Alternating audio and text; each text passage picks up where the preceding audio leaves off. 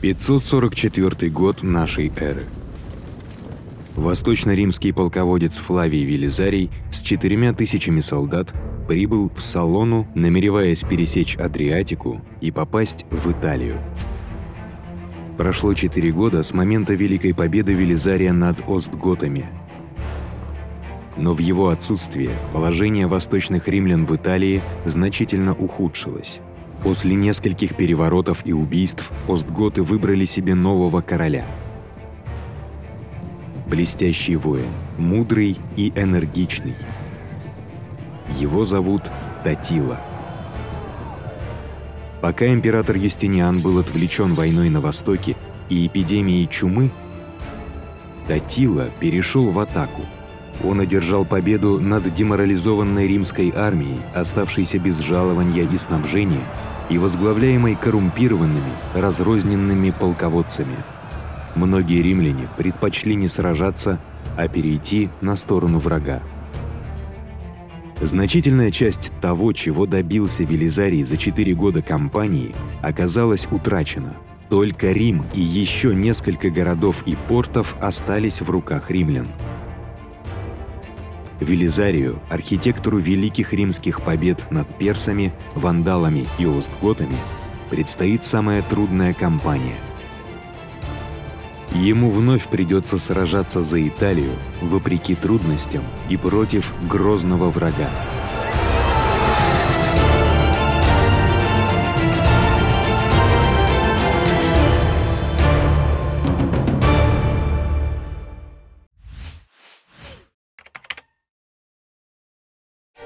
Друзья, хотим порекомендовать вам YouTube-канал «Гроза» и его ведущего Николая Росова. Николай Росов – магистр истории, знающий свое дело. В основном на канале он проводит прямые трансляции, где рассуждает на темы истории, политики и культуры. Нередко он проводит лекции на совершенно разные исторические тематики. На его канале уже свыше тысячи стримов лекций с продолжительностью от часа до трех. Любой сможет найти что-нибудь себе по вкусу.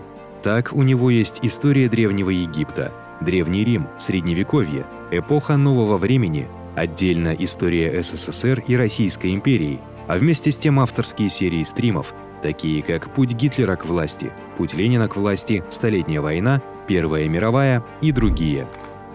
Все видео аккуратно сложены в соответствующие плейлисты и в каждом для удобства добавлены тайм-коды.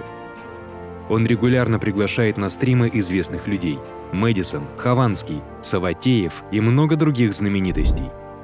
Кроме того, на его канале часто проходят игростримы. Переходи на канал по ссылке в описании и подписывайся. Перед Велизарием поставлена невыполнимая задача. Имея всего 4000 неопытных солдат, он не может пойти на риск и столкнуться в бою с остготским королем Татилой – на данный момент он вынужден оставаться в обороне. Ему удается добиться первого успеха, освободив и пополнив гарнизон Дриунта, который был на грани капитуляции. Затем он перебрасывает свои силы по морю к Равенне. Но Велизарий обнаруживает, что каждый его шаг в Италии, укрепление гарнизона или расширение римского контроля – упирается в нехватку войск, припасов и денег. Он посылает своего старого соперника Иоанна, племянника Виталиана, в Константинополь со срочным обращением к императору. «Мы прибыли в Италию, о могущественнейший император, без людей, без копий, без оружия и денег. Не имея всего этого в достаточном количестве, я думаю, никто и никогда не мог бы вести войну». Велизарий просил прежде всего, чтобы его личные войска, знаменитые букеларии, были освобождены от службы на Востоке и отправлены к нему в Италию. Велизарий удаляется в Деррахий, чтобы дождаться ответа императора. Татила тем временем все крепче сжимает свою хватку в Центральной Италии, и в конце 545 года он выдвигается на Рим – Вечный город удерживают всего 3000 римских солдат под командованием Бесса. В течение нескольких месяцев остготы перехватывали поставки, направляемые в город. Гражданские уже умирают от голода. На очереди гарнизон. Город долго не продержится. Несколько месяцев спустя Иоанн возвращается к Велизарию в Диррахий с подкреплением. Но уже не в первый раз два полководца расходятся во мнениях относительно своих дальнейших действий. Иоанн хочет переправиться в Южную Италию и идти по суше на Рим, путь который может занять 40 дней.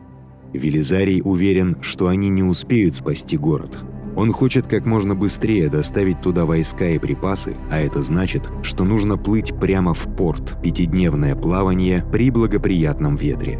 В это же время Иоанн сможет высадиться на юге Италии, зачистить регион от остготов и встретиться с Велизарием возле Рима. План Велизария опасен из-за разделения и так небольшого войска, но он может одним махом обезопасить Рим и Южную Италию для императора.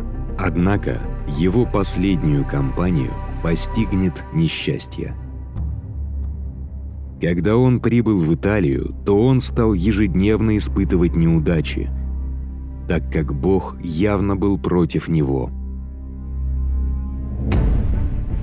Велизарий отплывает в порт в сопровождении своих войск и жены Антонины. Но их застает шторм – они вынуждены причалить в Дриунте. Их заметили готы, осаждавшие порт, и послали весть Татилле. Тому времени, когда Велизарий через несколько дней достигает порта, Остготы находятся в состоянии повышенной боевой готовности, готовые к любой попытке освободить Рим. Татила знает, что Велизарий попытается переправить припасы из порта в Рим по реке Тибр – Поэтому в 16 километрах вниз по реке от города он строит укрепленный деревянный мост с башнями на каждом берегу, заполненный остготскими воинами. Это грозное препятствие, которое Велизарий должен преодолеть, чтобы спасти Рим. Тем временем Иоанн высаживается со своими войсками на юге. Ему удается быстро разгромить местные силы остготов и обеспечить безопасность региона – но несмотря на призывы Велизария, Иоанн отказывается идти навстречу в Рим. Он ссылается на присутствие 300 остготов в Капуе, которые следят за его передвижениями, и ему кажется, что это ловушка. Велизарий больше не может ждать. Он оставляет Исаака командующим в порте со строгим приказом не покидать единственную надежную базу ни по какой причине – он также посылает весточку Бессу в Рим, приказывая ему совершить отвлекающую атаку на лагерь Остготов. Затем его конвой из 200 усиленных галер начинает плыть вверх по Тибру, нагруженный войсками и припасами. На правом берегу их поддерживает пехота. Расчистив путь от железной цепи, протянутой поперек реки, они достигают укрепленного моста Татилы – Благодаря искусной разведке Велизарий знает не только его местоположение, но и точные размеры. Он построил более высокую башню, плывущую на двух лодках. Римляне подплывают на ней к Остготской башне и сбрасывают на нее горящую лодку, наполненную смолой и дегтем. Башня с десятками остготских воинов, все еще остававшихся внутри, сгорает –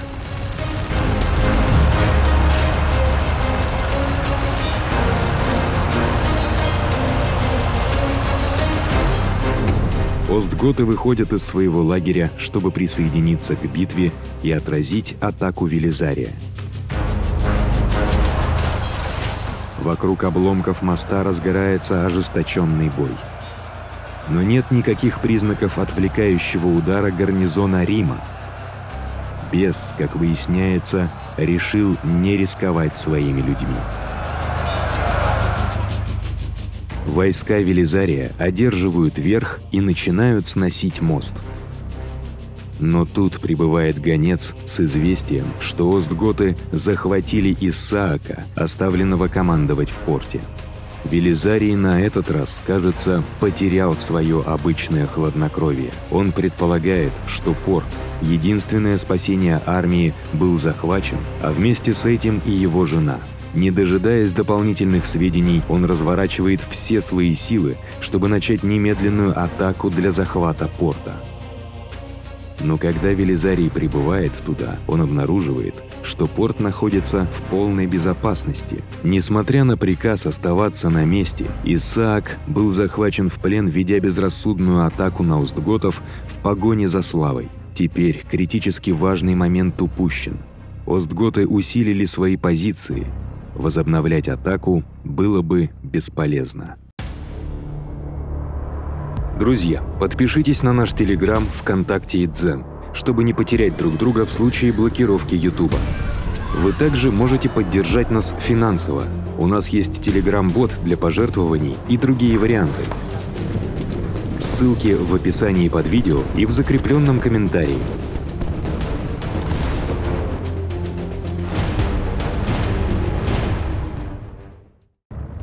Попытка Велизария спасти Рим провалилась.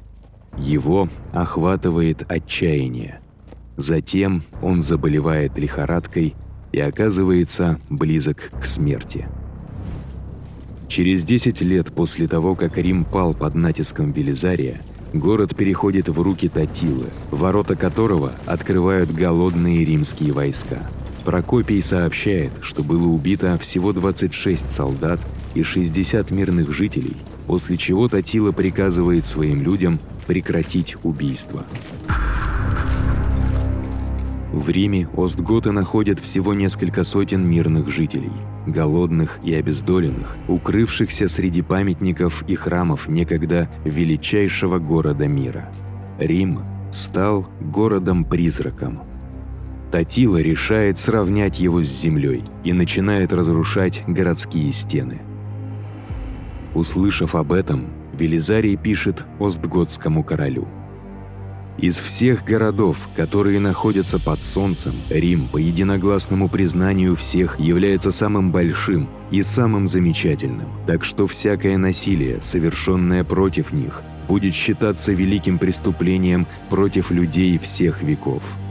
Это ведь лишит прежние поколения памяти об их доблести, а тех, кто будет после них, радости созерцания этих творений – Велизарий добавляет, что если римляне выиграют эту войну, они не проявят милосердия к человеку, сравнявшему Рим с землей. Татила меняет свое решение. Разрушив ворота Рима и большую часть его стен, он идет на юг, уводя с собой последних жителей. Иоанн отступает за стены Дриунда, и вскоре Южная Италия вновь оказывается под контролем остготов.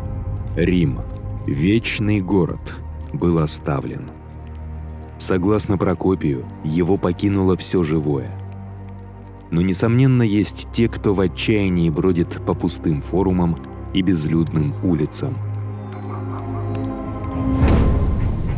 Весной 547 года Велизарий, оправившись от болезни, совершает разведывательный поход к Риму, чтобы проверить его укрепление – Слух о его передвижениях доходит до Астготов, и Велизарию с его эскортом приходится с боем выбираться из опасной засады. Но римский полководец увидел достаточно. Он решил вновь занять Рим. Нет ни одного остготского гарнизона, который мог бы противостоять Велизарию. Но стратегически это кажется безумием. Как он может рассчитывать удержать пустой город – в течение 25 дней он и его люди неистово работают, чтобы доставить припасы и укрепить оборону до возвращения Остготов. Их присутствие побуждает некоторых римлян вернуться в город.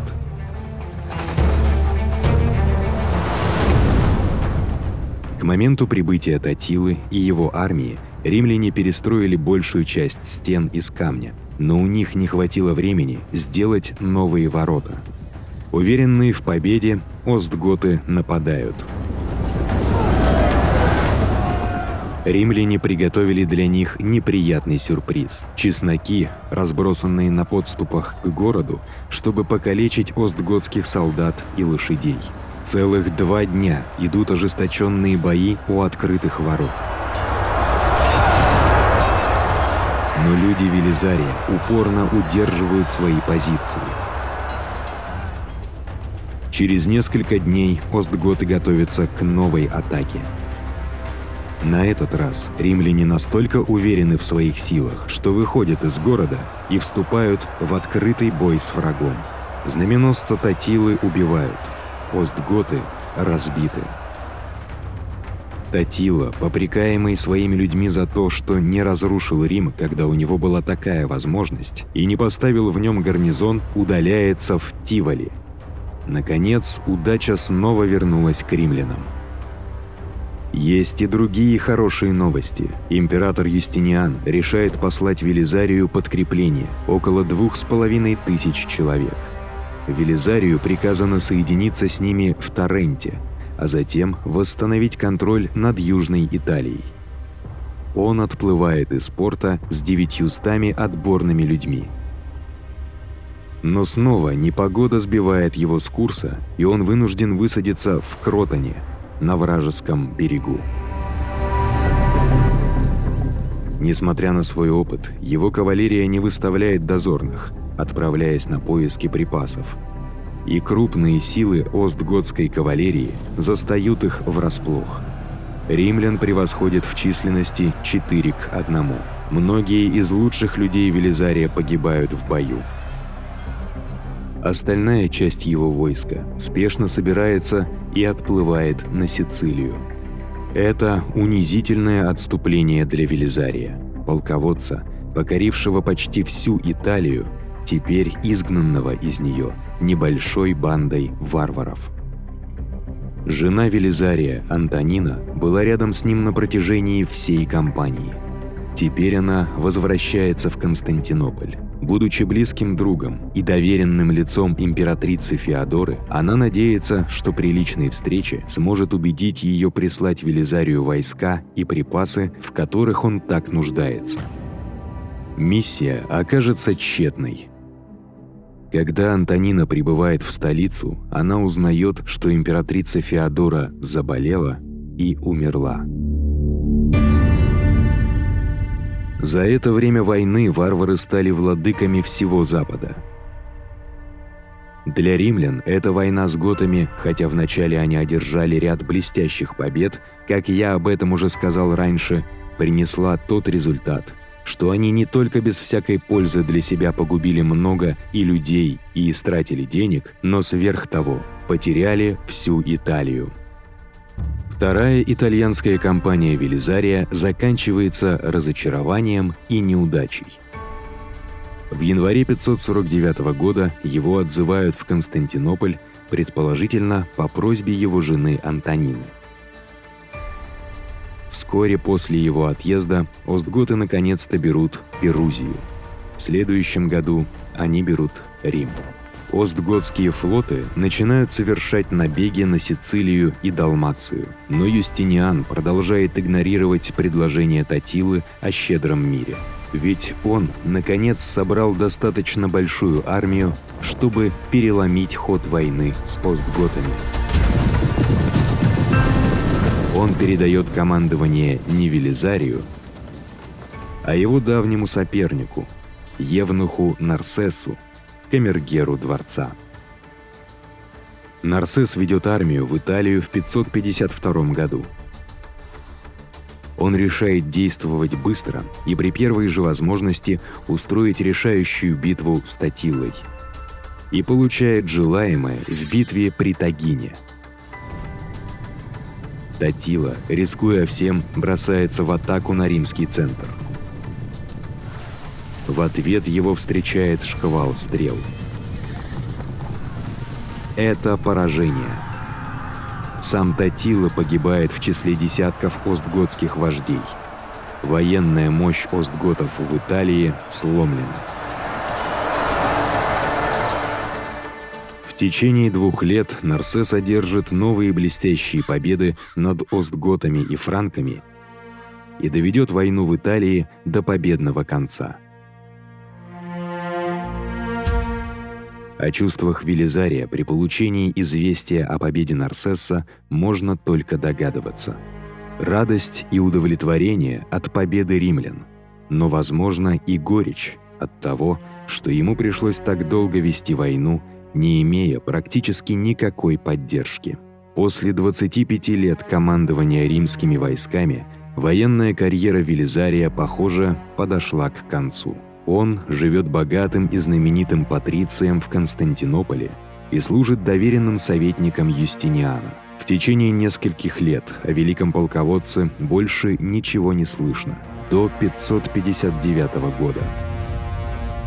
Итак, он снова надевает уже давно снятый панцирь, а на голову шлем, и возвращается к привычкам, усвоенным им с детства, возвращает память о прошлом и призывает прежнюю бодрость духа и доблесть. Утригуры, тюркские кочевники-воины, возможно, потомки гунов Атилы, десятилетиями угрожали Восточной Римской империи. Юстиниан использует сочетание взяток, укреплений и проницательной дипломатии, чтобы держать их на расстоянии. Система работает не всегда – в 559 году их вождь Заберхан ведет кутригуров на юг через замерзший Дунай. Они разделились на три группы. Сам Заберхан ведет 7 тысяч человек к Константинополю. Они обходят внешние укрепления. Длинные стены, разрушающиеся и необороняемые. В Константинополе почти нет войск, и по мере приближения кутригуров распространяется паника. Юстиниан знает, что в городе есть человек, на которого он может положиться. Он вызывает Велизария и приказывает ему возглавить оборону города. Великий полководец, которому уже почти 60, собирает 300 ветеранов и толпу гражданских добровольцев и выходит навстречу врагу. Он устраивает засаду для авангарда из двух тысяч кутригуров. Когда они попадают в ловушку, его ветераны атакуют с обоих флангов, забрасывая их копьями. Затем Велизарий ведет вперед свои главные силы в лобовой атаке – его люди криками и ревом наводят ужас на врага. Лошади волокут ветки, чтобы поднять пыль и скрыть их численность. Утригуры оказались в окружении, атакованные со всех сторон, не зная о силе противника. В панике они спасаются бегством. По словам историка Агафия Миринейского, римляне же преследовали их, оставаясь в строю и весьма легко истребляли отставших произошло большое избиение убегающих в беспорядке варваров. Они и поводья лошадей бросили, и частыми ударами бичей ускоряли их бег. Велизарий одержал еще одну блестящую победу. Однако, три года спустя после неудачного заговора с целью убийства императора, он снова оказывается в опале – на допросе заговорщики называют имена членов его семьи, которые, в свою очередь, обвиняют самого Велизария. Это слабые доказательства, но Велизарий остается персоной нон-грата на 7 месяцев, прежде чем Юстиниан восстанавливает его почести. Этот инцидент породил средневековую легенду о том, что в наказание Юстиниан ослепил Велизария, и тот стал нищим у ворот Константинополя. Эта история была любима неоклассицистами XVIII века с их драматическими темами тирании, несправедливости и милосердия. Однако современных свидетельств в ее пользу нет. Три года спустя в хронике Феофана Исповедника одним абзацем отмечается смерть одного из величайших полководцев Рима – в этом году в месяце марте Индиктиона XIII умирает в Византии Патриций Велизарий, а имущество его передано на государев двор Марины, и больше ничего не сообщается. Год 565. Велизарию было около 60 лет. Судьба его жены Антонины неизвестна.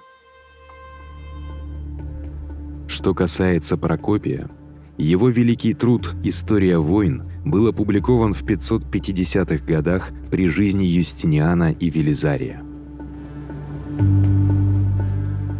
Это поразительное достижение автора, ставшего свидетелем многих важнейших событий и знавшего многих великих деятелей. Она считается одной из величайших и самых длинных историй, дошедших до нас из древнего мира. Но Прокопий пишет и другой труд об этих временах, не опубликованный при его жизни, известный как «Тайная история». В предисловии к ней он пишет в прежних своих работах я был вынужден умолчать о причинах многого из того, о чем я писал. Поэтому я считаю своим долгом в данном сочинении высказать все, о чем до сих пор я должен был молчать. Далее следует скандальное посягательство на репутацию Феодоры и Юстиниана, Антонины и Велизария.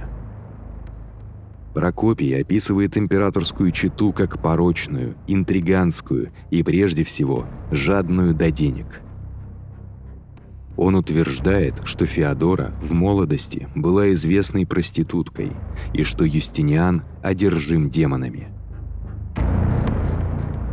Антонина, утверждает он, серийная прелюбодейка, которая держит под своими чарами патетически преданного Велизария – Многие их действия, даже важные стратегические решения, объясняются одержимостью, похотью и манипуляциями. Тайная история оставалась малоизвестной в течение тысячи лет, пока в библиотеке Ватикана не была найдена и опубликована рукописная копия. С тех пор историки спорят о ее содержании. Распространено мнение, что эта работа возникла в результате разочарования Прокопия в правлении Юстиниана. Войны, налоги и, что особенно важно, влияние Феодоры и Антонины. Книги женщины предстают как ненасытные, интриганки, обманщицы и мстительницы – но также очевидно, что большая часть тайной истории – это намеренная гиперболизация и пародия, которую не следует воспринимать буквально или, возможно, даже всерьез. Император Юстиниан умер через 8 месяцев после Велизария, в 565 году. Править 38 лет и умереть в постели в возрасте 83 лет было удивительным достижением – его похороны, события потрясающей пышности, завершились погребением в золотой гробнице в храме святых апостолов в Константинополе. Он оставил после себя Римскую империю, простиравшуюся от Кавказа до побережья Испании, от Альп до Атласских гор. Эти завоевания дались огромной ценой человеческих жизней, денег и страданий. Однако их не удалось удержать. Через три года после смерти Юстиниана лангобарды обрушились на Италию, завоевав большую часть полуострова. В VII веке авары и персы подошли к стенам Константинополя, прежде чем волна мусульманских арабских завоеваний снесла большую часть империи. Утверждается, что в результате дорогостоящих войн Юстиниана – Восточная Римская империя была истощена и не смогла противостоять новым угрозам. Но последние оценки делают больший акцент на промахе его преемников. Юстиниану безмерно повезло, что ему служил один из величайших полководцев римской истории, хотя он не всегда вознаграждал его за преданность. Во всех своих походах Велизарий отличался верностью, умом человечностью и решительностью. Он был искусным тактиком, бросившим вызов соперникам при даре. Он провел кампанию по завоеванию умов и сердец и возвращению Северной Африки почти без потерь. Он освободил Рим и удерживал его во время двух отчаянных осад. Его называли «последним римлянином». Империя еще не скоро увидит полководца его масштаба.